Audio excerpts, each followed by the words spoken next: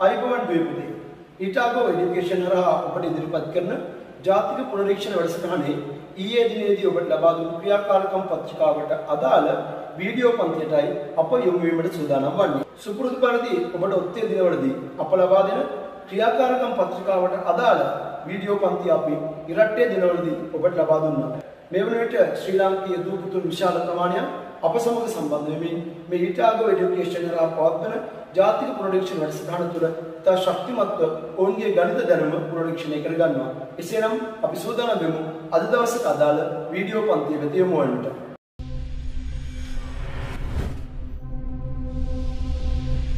කොහොමද දරුවනේ? ඔගොල්ලෝ හැමෝම හොඳින් ඉන්න ඇති කියලා මම විශ්වාස කරනවා. ඉතින් අපි සූදානම් වනවා 11 ශ්‍රේණිය ජූනි මාසයේ 3 වෙනිදා. ඒ කියන්නේ ඊයේ දවසේ ඔයගලන්ට දීපු ක්‍රියාකාරකම අපිත් එක්ක සාකච්ඡා කරන්න. අද ජූනි මාසයේ 4 වෙනිදා ඉතින් වීඩියෝ එකක් සාකච්ඡා කරන්න ඉරට්ටේ දවස්වලදී කියලා ඔයගොල්ලෝ දන්නවා. ඉතින් සුපුරුදු ඉරට්ටේ දවසකදී අපි ඔයගොල්ලොත් එක්ක ඊයේ දවසේ ලබා දුන්නු ක්‍රියාකාරකම සාකච්ඡා කරනවා. ක්‍රියාකාරකමට යොමු වෙන්න ඉස්සෙල්ලා චුට්ටක් ඔබ හිතලා බලන්න ඔබ ඊයේ දවසේදී මේ ක්‍රියාකාරකම ඔබේ CR පොතේ ප්‍රශ්න කළු පාට පෑනෙන් උත්තර ඩීල් පාට පෑනෙන් ලියලාද ඔය වීඩියෝ එක බලන්න කියලා. එහෙමනම් ඇත්තටම ඔබ ඊටාම හොඳ දරුවෙක් සහ ඔබට අවුරුද්ද ඇතුළත විශාල ගණන් ප්‍රමාණයක් හදලා ඔබ හිතනට වඩා ඉතා විශාල ලකුණු මට්ටමකට යන්න සුදුසුකම් සපුරාපු දරුවෙක් කෙන එක ගැන ඕගලන්ටම ඔයාලගෙන යම් තක්සේරුවක් ගන්න පුළුවන්. හරි කොහොම වේවා අපි වීඩියෝ එකේ ඉදිරියට යමු පන්තියට යොමු යමු. පළවෙනි ප්‍රශ්නේ ඔයාලා මොකක්ද අහන්නේ? ජයන්ත සතු ඉඩමෙන් කොච්චරක්ද? හතරෙන් තුනක් තව තම දුවට දුන් පසු ඉතිරියෙන් තුනෙන් එකක් පුණ්‍ය ආයතනයකට ලබා දෙයි.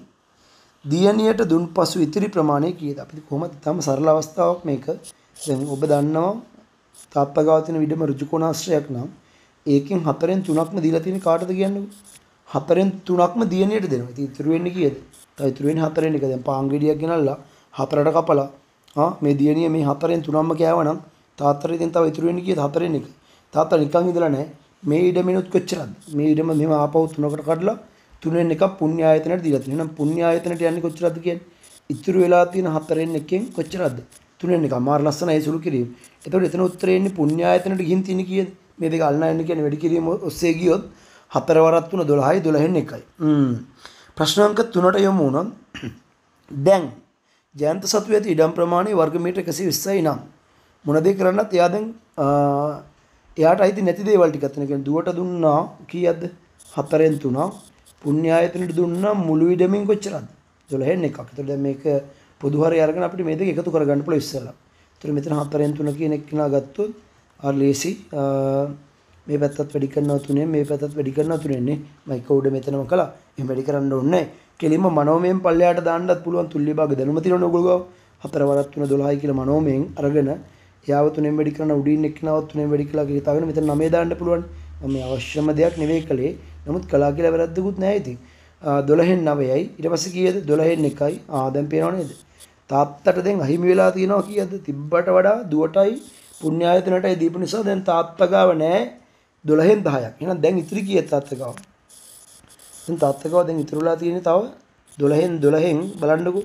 12න් 10ක්ම අයින් කළාම තාත්තා ගාව දැන් ඉතුරුලා තියෙන්නේ කීයද? 12න් 2යි. හ්ම් කියෙන් දෙකයිද 12න් 2යි 12න් දෙකක් කියන්නේ 6න් එකක්. කෙටියෙන්ම කියනවා. ඊගාවට දැන් ජයන්ත සතුව තියෙන ප්‍රමාණය වර්ග මීටර 120යි නම් දැන් තියෙන්නේ කියන්නේ 6න් එකක්. එහෙම නැත්නම් 12න් දෙකක් කියන්නේ 120යි නම් මුළු මුළු ඉඩම. මුළු ඉඩම. අපි දැන් ඉතාම සරලව ගමු. මුළු ඉඩම කොච්චරද? දැන් මේ ගානට අනුව ගත්තොත් 6න් 6ක්. මුළු ඉඩම කියන්නේ 6න් 6ක්. 6න් එකක් කියලා කියන්නේ අර ලස්සනයි.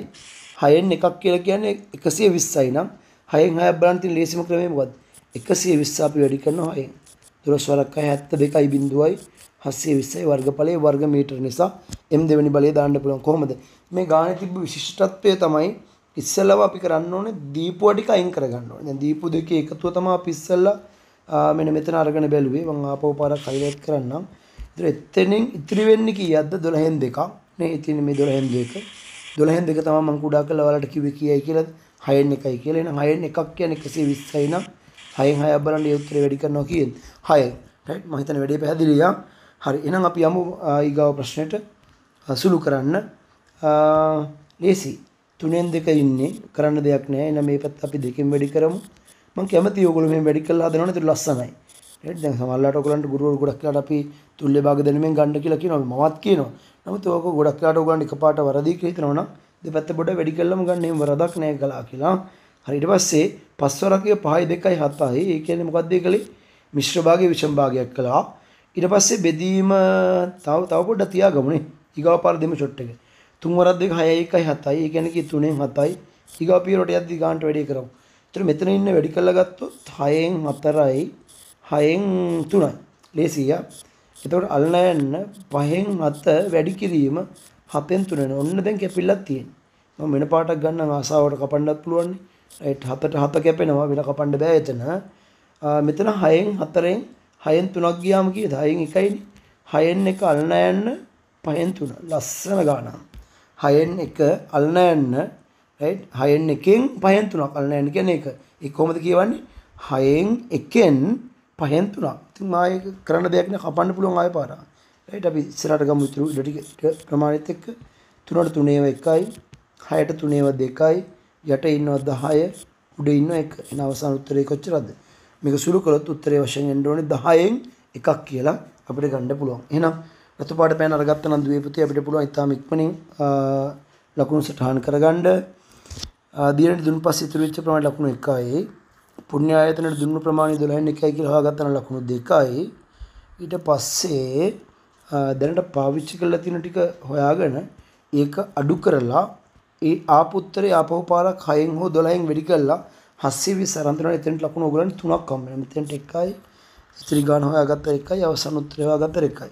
එතන ලකුණු තුනක් ඕගලන්ට හම්බ වෙනවා. ඊගාවට ඕගලන්ට තව ලකුණු හතරක්ම හම්බ වෙනවා. මෙන්න මේ මිශ්‍ර භාග විෂම භාග වලට පළවෙනි ස්ථානයේදීම ඊගාවට මේක තුල්‍ය භාග වලට ගත්තට එකක් හම්බ වෙනවා. බෙදීම් වැඩි කිරීමක් කළාට එකක් හම්බ වෙනවා. අවසන් උත්තරයට එකක් හම්බ වෙනවා. පේනව නේද?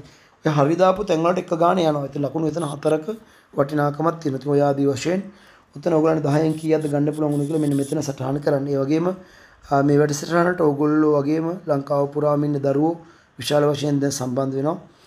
ඔබේ යාළුවන්ට සම්බන්ධ වෙන්න අවශ්‍ය නම් ඒ අය කරන්න ඕනේ මොකද්ද? ඒ අයගේ නම නම ශ්‍රේණිය පාසල මෙන්න මේ තියෙන දුරකථන අංකයට අපි වෙත යොමු කළොත් අපි ඒගොල්ලන් අපේ WhatsApp හෝ Telegram කණ්ඩායමකට ඇතුළත් කරන ඕගොල්ලෝ වගේ ඇතුළත් කළා අපි ඒගොල්ලන්ට ඔත්තේ දවස්වලදී ප්‍රශ්න පත්‍රات ඊළඟ දවස්වලදී වීඩියෝස් වශයෙන් මේක දින 360 පාම අංග සම්පූර්ණයෙන් නොමිලේ අපි දරුවන්ට ලබා දෙන්න බලාපොරොත්තු වෙනවා. ඉතින් ඔය කියන කාරණාවත් එක්ක ඔයගොල්ලෝ දිගින් දිගටම තව ශක්තිමත්ව මේ ගණන් හදන ක්‍රියාවලිය තුළ කටයුතු කරන්න අපි ඔයගොල්ලන්ට උපරිම උදව් කරන්න සූදානම් දුවේ පුතේ.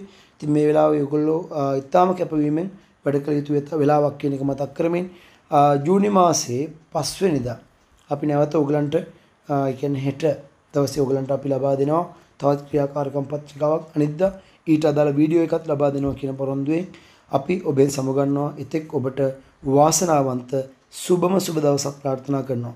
අයිබෝන් දරුවනේ.